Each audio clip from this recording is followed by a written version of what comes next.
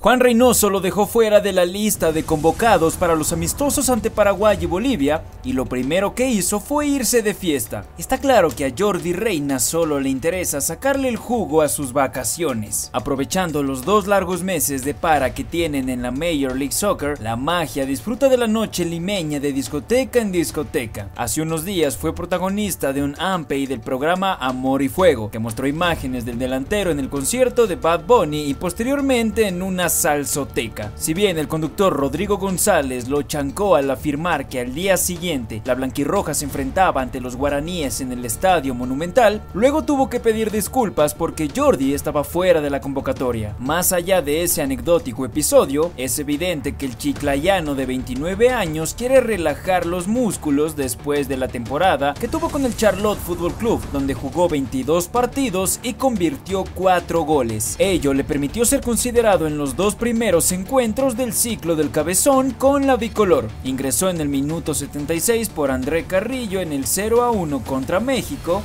y fue titular hasta los 59 minutos en el 4 a 1 ante El Salvador. Luego de esos cotejos no fue considerado para estos últimos duelos de preparación, pues el comando técnico de la selección prefirió probar a jugadores como José Rivera y Luis Iberico, además de darle más rodaje a Brian Reina. Para la magia es una oportunidad única volver a estar en el universo de convocables de la blanquirroja. Con Ricardo Gareca al mando, jugó su último encuentro del 16 de octubre del 2019 en el 1 a 1 contra Uruguay. Por tal razón, no dudó en elogiar al ajedrecista y de paso, meterle su chiquita al tigre por borrarlo. Reynoso es un entrenador que nos da mucha motivación y eso es importante para cualquier jugador. Este comando técnico me ha dado el apoyo a mí y a todos. La verdad me sorprendió mucho porque tiene un buen staff. Vamos a respaldar nosotros para que vengan los resultados positivos. Comentó, Jordi cree que en este proceso clasificatorio para el Mundial 2026 tendrá más oportunidades, pero sus salidas de fiesta lo pueden terminar perjudicando como en el pasado. Estar involucrado en la muerte de una menor de edad en un departamento que alquilaba fue determinante para que el Tigre lo deje al margen de las eliminatorias para Qatar 2022. Fue mi primera convocatoria con el profesor Reynoso, como la de muchos. Es algo importante para mí porque desde ese tiempo no estaba en la selección. Creo que a cualquier jugador que fue convocado le ha generado una ilusión. Estoy contento y espero ser llamado